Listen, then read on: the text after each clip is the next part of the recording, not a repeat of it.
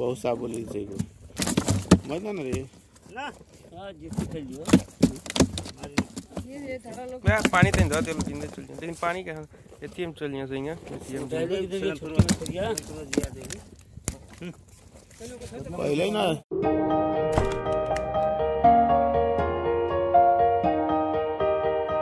Thank you.